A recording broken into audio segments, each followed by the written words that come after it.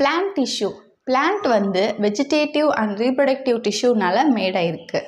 Plant tissue அப்படிங்கிறது ஜென்ரலாக two டைப்ஸாக இருக்குது ஒன்று வந்து மெரிசமேட்டிக் டிஷ்யூ இன்னொன்று வந்து permanent tissue this meristematic tissue is otherwise called as meristem இதை பற்றி தான் இந்த வீடியோவில் இன்றைக்கி பார்க்க போகிறோம் இந்த மெரிஸ்டம் அப்படிங்கக்கூடிய இந்த வேர்டு வந்து க்ரீக் வேர்ட்லேருந்து வந்திருக்கு மெரிஸ்டூஸ் இந்த மெரிஸ்டூஸ் அப்படிங்கிற இந்த வேர்டுக்கு மீனிங் வந்து divisible or having a cell division activity அதாவது செல் வந்து டிவைட் ஆகுது. அதனால இந்த வேர்ட்லேருந்து வந்திருக்கு. இந்த மெரிசமேட்டிக் டிஷ்யூ அப்படிங்கிறது பிளான்ட்டில் இருக்கக்கூடியது. ஸோ டிஷ்யூனாலே வந்து ஜென்ரலாக குரூப் ஆஃப் செல்ஸ்னால ஃபார்ம் ஆயிருக்கும். இது எந்த மாதிரியான செல்ஸ்னால ஃபார்ம் ஆயிருக்குன்னா it is a group of immature cells mature cells இல்லாமல் மெச்சூர் ஆகாத செல்ஸ் இம்மெச்சூர் செல்ஸ் எல்லாமே குரூப்பாக சேர்ந்து தான் இந்த மெரிசமேட்டிக் டிஷ்யூ வந்து ஃபார்ம் ஆயிருக்கும். இந்த இம்மெச்சூர் செல்ஸோட வேலை என்ன அப்படின்னா it undergoes a cell division இந்த செல்ஸ் எல்லாமே வந்து செல்லை வந்து டிவைட் பண்ணி விடும். அதுதான் வந்து இதோடைய ஃபங்க்ஷன் இது வந்து எங்கே ஃபவுண்ட் ஆயிருக்கு அப்படின்னா ஜோன்ஸில் ஜோன்ஸ் அப்படிங்கிறப்போ ஸ்டெம்மோட அபெக்ஸு ஸ்டெம்மோட நுனி பகுதியில் ரூட் அப்பெக்ஸு ரூட்டோட நுனி பகுதியில் leaf primordia vascular cambium cork cambium so இந்த மாதிரியான ஜோன்ஸ்லலாம் வந்து இந்த இம்மெச்சூர் செல்ஸ் வந்து ப்ரெசண்ட் ஆகி அங்கே வந்து செல் டிவிஷன் பண்ணிக்கிட்டு இருக்கு. ஸோ இந்த ஸ்டெம்மோட அபெக்ஸில் செல் டிவிஷன் நடக்கும்போது ஸ்டெம் வந்து இப்படி க்ரோ ஆகுது. ரூட்டோட அபெக்ஸில் செல் டிவிஷன் நடக்கும்போது ரூட் வந்து இப்படி க்ரோ ஆகுது. ஸோ செல் டிவிஷன் நடந்தால் மட்டும்தான் பிளான்ட் வந்து க்ரோ ஆக முடியும். மெரிசமேட்டிக் டிஷ்யூவோட கேரக்டரிஸ்டிக் ஃபீச்சர்ஸ் மெரிசமேட்டிக் டிஷ்யூ அப்படிங்கிறது it is a group of immature cells இந்த செல்ஸ் எல்லாமே வந்து லிவிங் செல்ஸ் இந்த செல்ஸோட ஷேப் வந்து எப்படி இருக்கும்னா ஸ்மால் சின்னதாக ஓவல் ஷேப்பில் இல்லைன்னா பாலிகோனல் ஷேப்பில் அதர்வைஸ் ரவுண்ட் ஷேப்பில் இருக்கும். இதெல்லாம் வந்து இந்த செல்லோட ஷேப்பு இந்த செல்லோட வால் வந்து தின்னாக இருக்கும். செல்லுக்குள்ளே இருக்கக்கூடிய சைட்டோபிளாசம் வந்து டென்ஸாக இருக்கும்.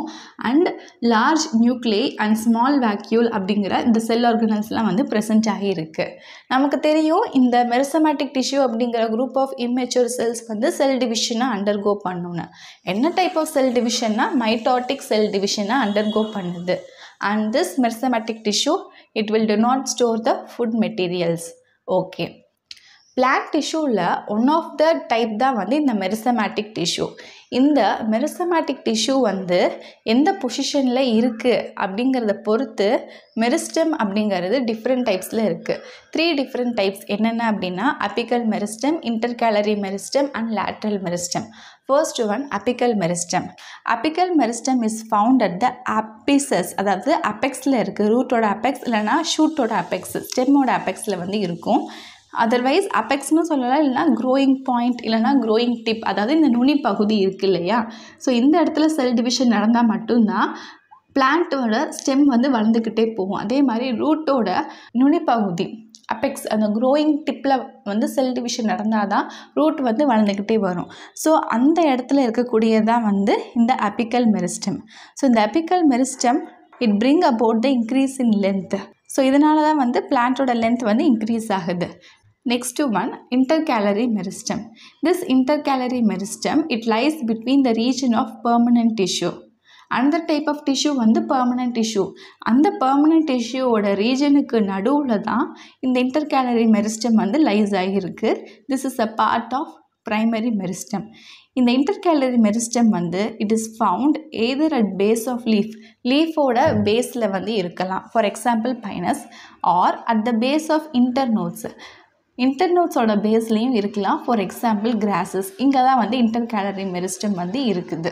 நெக்ஸ்ட் தேர்ட் மெரிஸ்டம் வந்து லேட்ரல் மெரிஸ்டம் இந்த லேட்ரல் மெரிஸ்டம் வந்து பேரலாக அரேஞ்ச் ஆகி இருக்கும். And it causes the thickness of the plant part இப்போ இதில் வந்து செல் டிவிஷன் நடக்கும் போது தான் இந்த இடத்துல பிளான்ட்டோட பார்ட் வந்து திக்னஸ் ஆகுது. அதாவது பிளான்ட்டோட டயாமீட்டர் வந்து இன்க்ரீஸ் ஆகுது. ஒரு செடி மரமாக ஆகிறதுக்கு காரணமே வந்து இந்த லேட்ரல் மெரிஸ்டம் தான். Function of meristematic tissue so இந்த மெரிசமேட்டிக் டிஷ்யூ தான் வந்து it is the actively dividing tissue of the plant and this is responsible for the primary growth that is elongation அதாவது பிளான்ட்டோட லென்த் இன்க்ரீஸ் ஆகிறதுக்கு. அதான் வந்து primary growth and secondary growth அதாவது பிளான்ட்டோட திக்னஸ் வந்து இன்க்ரீஸ் ஆகிறது. பிளான்ட்டோட டயாமீட்டர் வந்து இன்க்ரீஸ் ஆகிறதுக்கும் வந்து இந்த டிஷ்யூ தான் வந்து காரணம். Okay that's all about the meristematic tissue I hope உங்களுக்கு இந்த வீடியோ ரொம்ப கிளியராக புரிஞ்சிருக்கும்னு நினைக்கிறேன். இதில் ஏதாவது டவுட் இருக்குன்னுச்சு அப்படின்னா யூ கேன் ஆஸ் மீ இந்த comment section if you like this video thumbs up share among your friends circle இந்த வீடியோ நிறைய பேருக்கு யூஸ்ஃபுல்லாக இருக்கட்டும். If you are new to my channel please subscribe my channel click the notification bell button to get the latest updates on science thank you for வாட்சிங்